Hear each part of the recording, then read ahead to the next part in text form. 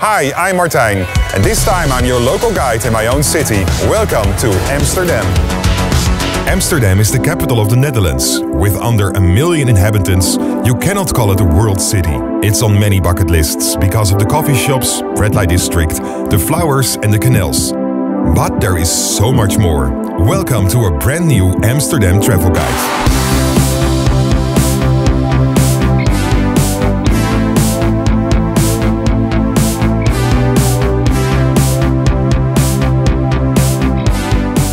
Most common way to arrive is here at Schiphol Airport, for years one of the best airports in the world, because it's not that big as Paris or London.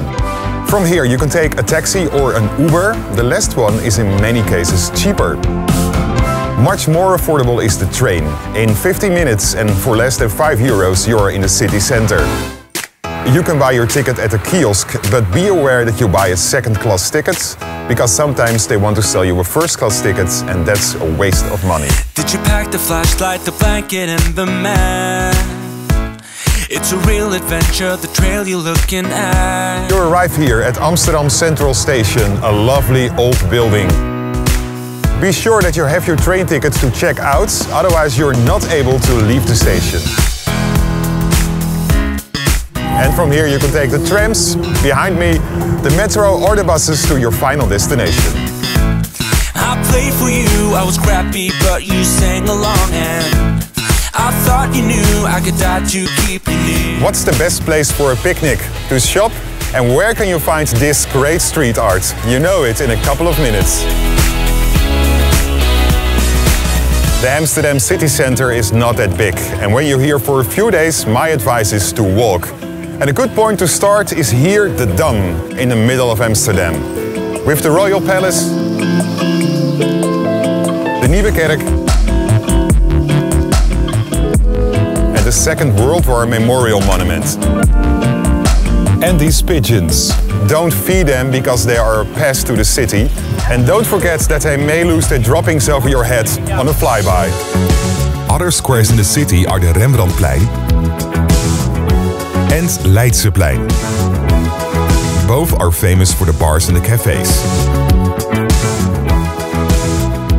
This is where Amsterdam is famous for, the canals and the beautiful old houses. We call it the Grachtengordel and it's on the UNESCO World Heritage List since 2010. The houses are really old, therefore we go back to the Dutch Golden Age, the 17th century. When you walk here, you can't deny that Amsterdam is called the Venus of the North. Or take a famous canal cruise, and you get a different view of the city, it's worth it. And today I'm boarding at Rederij Kooij. I could be the one who saved you from this hard place. We could be as one and we'll escape. We could run away, we don't gotta stay. If you want to know where you can buy your tickets, just check the text below. Every year, millions of tourists visit Amsterdam to smoke in a Dutch coffee shop. And there is a coffee shop here on every corner. And the funny thing is that you don't see many locals in there. The government is making new rules to restrict the use of coffee shops for tourists. It's not sure when this will take effect, but for now, you're already informed. And look out when you cross the street, because Amsterdam is the bike city in the world. There are cycle paths everywhere, and it's the most common mode of transportation. And you can rent a bike by yourself for around 10 to 12 euros a day. In the past years, Amsterdam tried to make more spaces popular than only the city center. And a good example is the NDSM Werf. It's a former shipment building site, but nowadays the place for the best street art.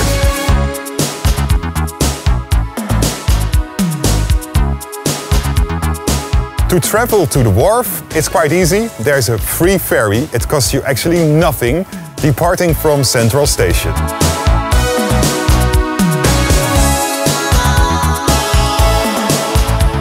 One of the cutest neighborhoods is here, the Pijp, but in the past it wasn't. In the 80s it was a rundown neighborhood. Since the 90s it became popular under the young work class. And that changed the neighborhood to a vibrant area with a lot of stores, eateries and still the famous Albert Cuyp market. Six days a week where you can buy everything and mostly cheaper than in stores.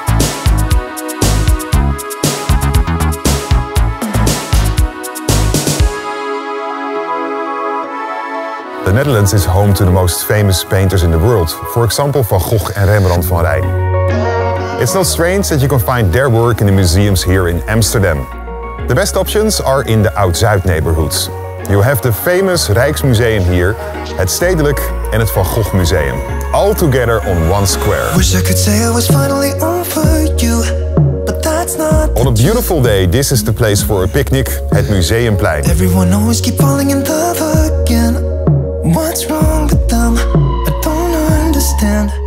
Or go to the most famous park here in the city, between the locals, het Vondelpark. It's also a great place to improve your health by running through the park. Why am I the only one who's left in the rain with nobody to hold on to?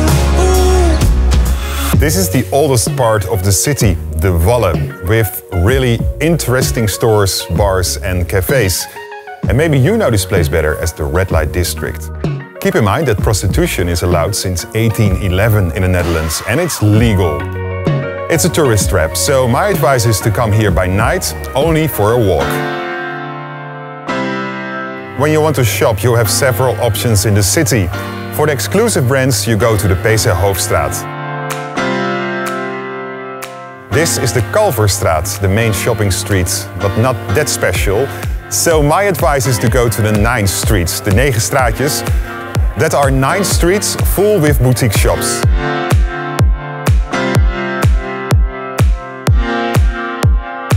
And don't forget the Haarlemmerstraat. It's a long street full with shops, bars and restaurants.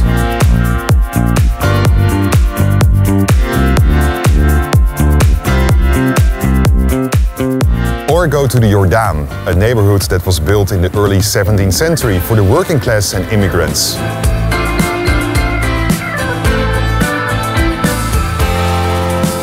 Of course, this area changed a lot over the years, but it's still authentic with the beautiful canals, houses, churches, and small alleys. Quite often hidden behind these types of doors. Look carefully around you, and with a bit of luck, you will find one of these places by yourself. Jordaan is also home to the Anne Frank House. This is the place where the young Anne grew up during the Second World War until they were deported. When you visit the Anne Frank House, you can feel what life was for Jewish families during the Second World War. Do you have your own travel tips about Amsterdam? Please leave them in the comments below so we can upgrade the travel guide many times. When you like this video, don't forget to give a thumbs up and subscribe if you don't want to miss new episodes. Tot ziens, ciao, hasta luego.